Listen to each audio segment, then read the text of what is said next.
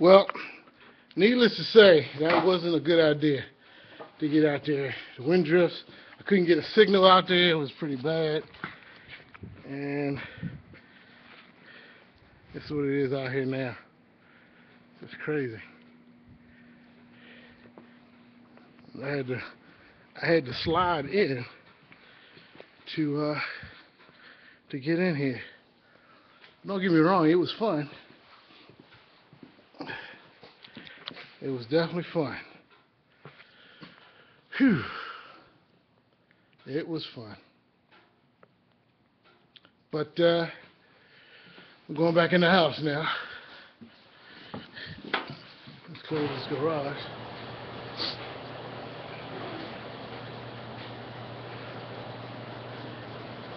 No viewers.